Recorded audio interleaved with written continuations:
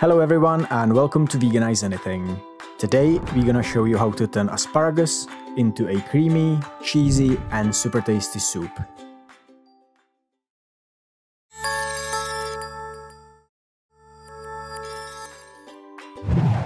Before we start, take a look at what we're gonna need. One of the most important must-have ingredients is a well-melting vegan cheese.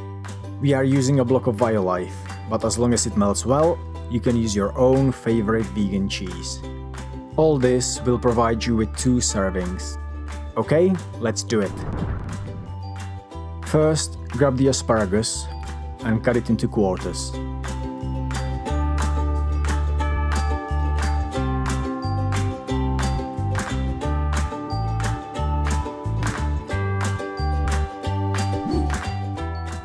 Dice half an onion.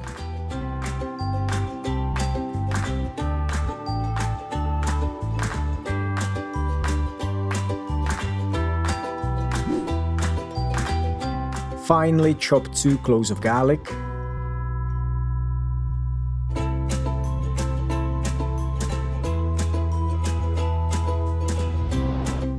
Now grate the vegan cheese.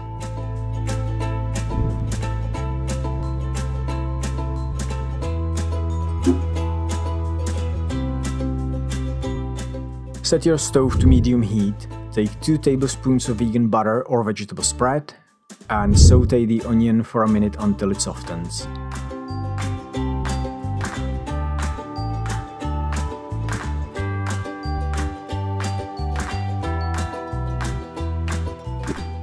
Then add garlic and saute them both until they turn golden brown.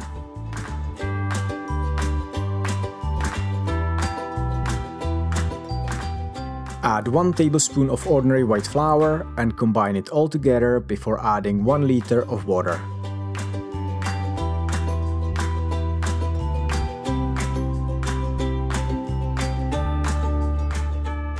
Now add 1 tablespoon of mushroom powder or vegetable bouillon before finally adding the asparagus.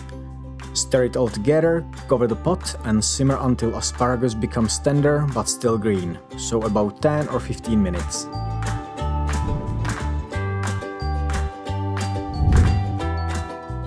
Now cool it down for a minute, take all asparagus out with some of the broth and put it in a blender.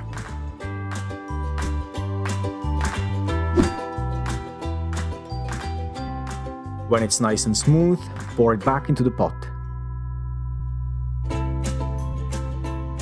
Now it's time to add all the seasoning.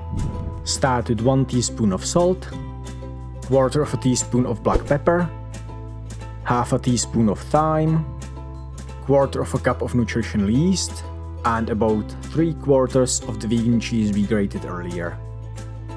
Stir it all properly before adding 1 cup of coconut cream.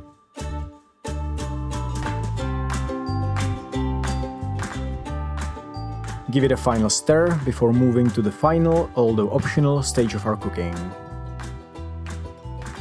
Take a few slices of bread, toast them and smear garlic evenly on both sides.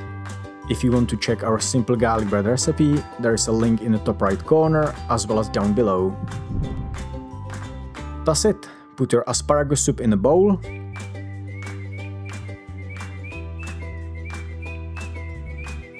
Put the remaining grated cheese in the middle and garnish it with the parsley leaf. Finish it off with the garlic bread and bon appetit! If you like this recipe, please share your experience in the comments down below.